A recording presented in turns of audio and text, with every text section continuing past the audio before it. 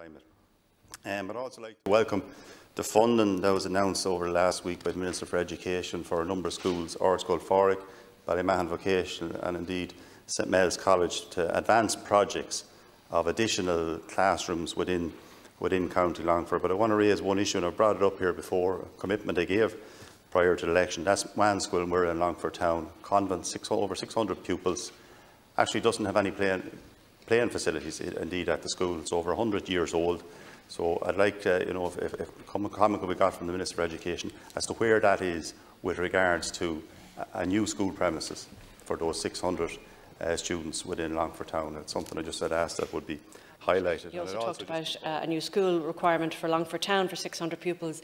And again, I'll write to the Minister for Education seeking um, a response on that one. But something that he did bring